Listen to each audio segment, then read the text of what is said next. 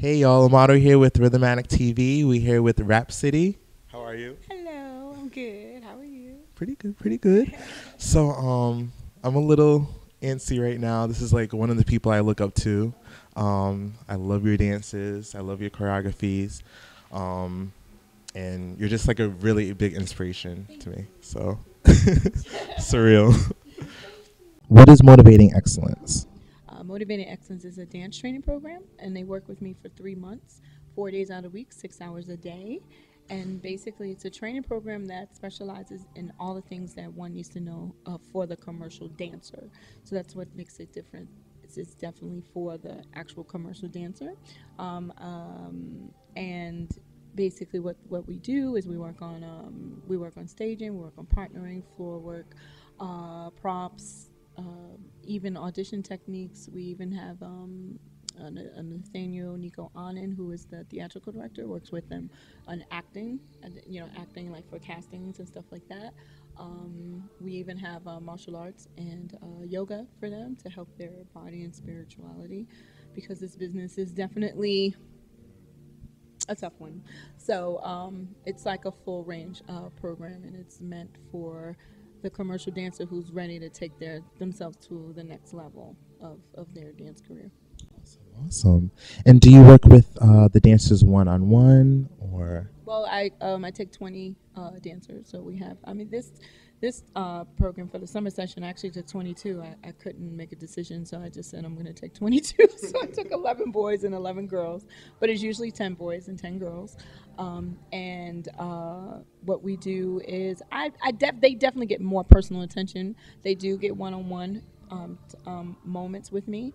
Uh, they get one-on-one evaluations, uh, and uh, but it's a very intimate.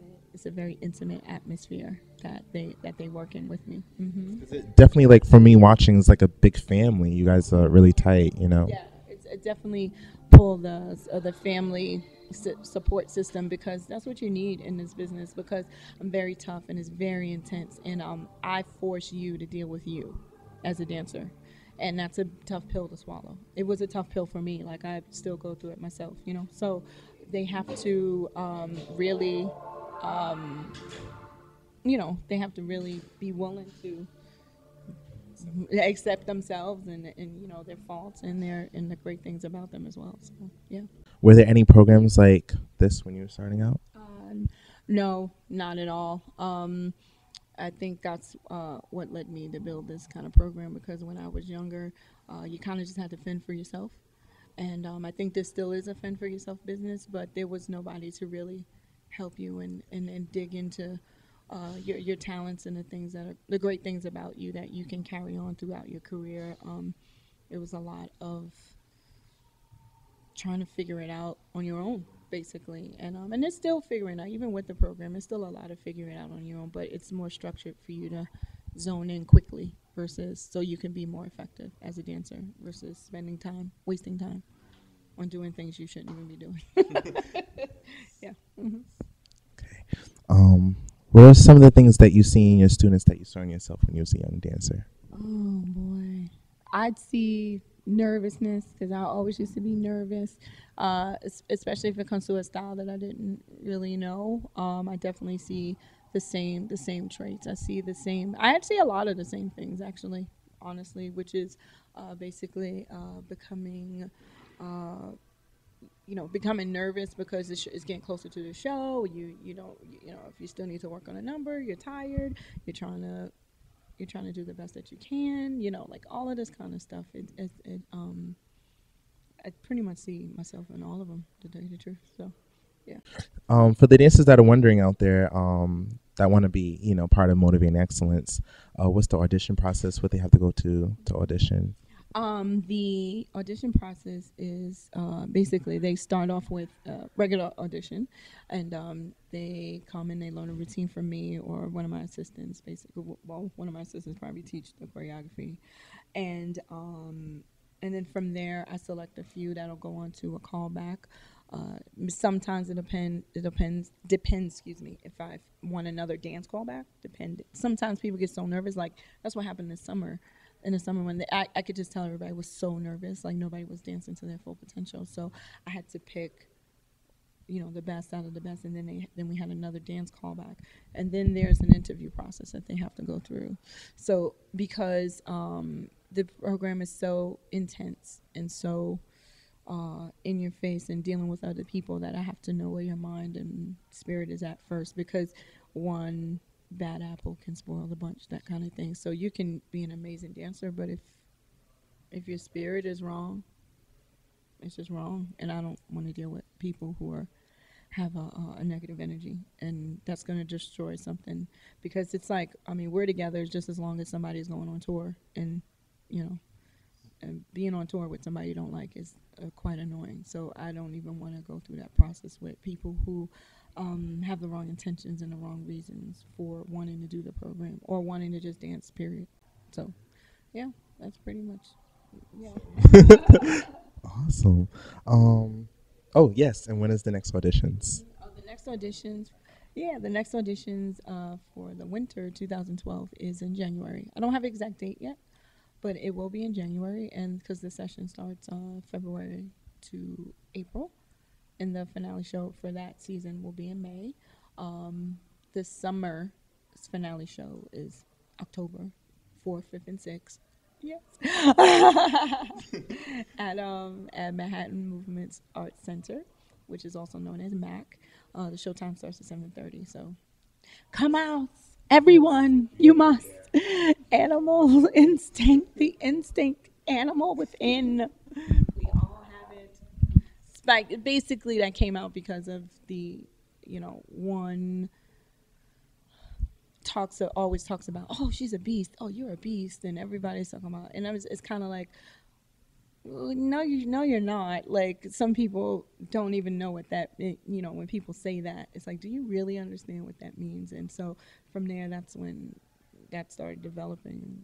That's how instinct came about, and it developed into this whole thing. But you have to come to the show to see it. I'm not giving it away, but yeah. but yes. Actually, goes into the next question.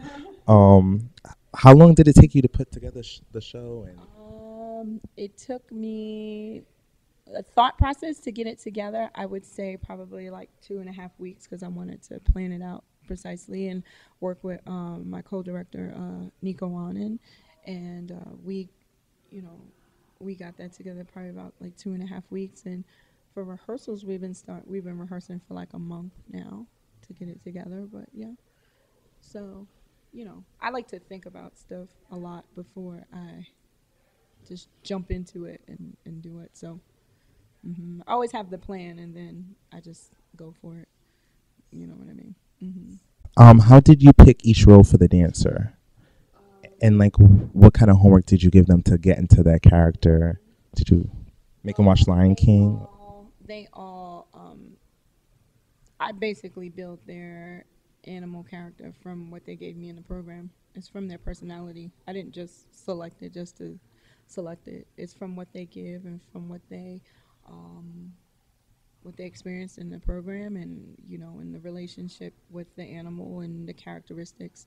I placed it on them, and their homework was that they had to research that animal. Like you have to, in order for me to to work it. You know, I I could give it to you, but I can't do everything. You know what I mean? Because I wanted them to become the animal. So they had homework assignments, we had animal workshops uh, where it wasn't even about dance, it was really about working with that animal. And, you know, it was about four hour workshops for about a week or two that they had to really train and become this animal. And each of them had to embody each other's animal as well. So, yeah. It was, it was, it was, it was about, I would say, two weeks prep verbally and mentally building another two weeks working on like just workshopping it as far as the animal and then probably another three and a half weeks rehearsing the actual dances and stuff mm-hmm. for me watching it was like pretty intense i thought they were really animals yeah they're actually really good like I look at them and I'm like, oh my god, you really are like who you are. Like that's crazy. So and and it's it's funny because they do embody the characteristics of that animal. So it's it's really interesting. Mm-hmm. Um, and that goes into the next question: What inspired the show, and um, how did you come up with the concept?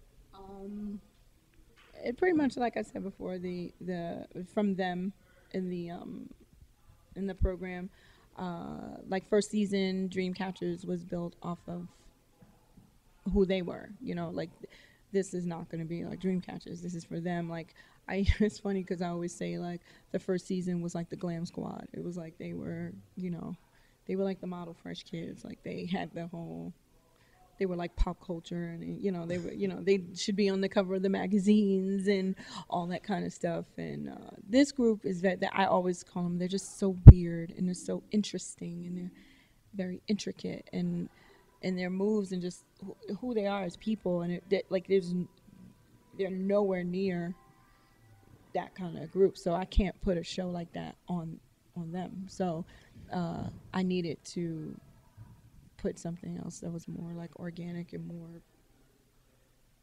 I don't know, even just strange on them without just saying, "Oh, I'm strange" and just doing strange moves. You know what I mean? And um, I've always actually been fascinated with animals in general. I like going to the zoo and like watching National Geographic and all those kind of things. Even though I have a big problem with bugs,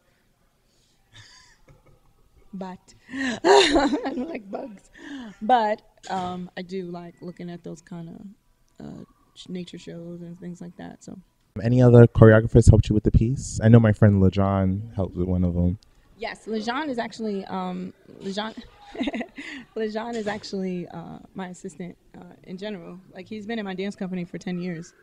Yeah, and then um, yeah, so LeJon actually helped with the Raven piece um, the girl who um, Haley who does Raven, he did the poppin section in, in that number. Mm-hmm. So he helped uh, with that. Um, yeah, that's pretty much literally that was it. I chore- I literally choreographed every, everything. A lot of people get kind of weirded out because they i guess at this day and age choreographers don't really choreograph everything themselves they always bring collabos and all stuff in i'm i'm just somebody who's like I zone out and I, and, and I dive right into it and I'm able to choreograph it. So that's just what I do. But I literally choreographed everything with the exception of the Raven section uh, for um, did staging of it, but the popping section, LeJon definitely did that. He did an amazing job. So it was cool. Amazing. um, because there's like so many parts in the show. Wow, for one choreographer to do that is yes. I got a crazy mind. I'm a movie in my head. I'm always. I'm a little kooky like, but that's what they say, right? If you're crazy, you know, most artists are crazy. So I'll take that.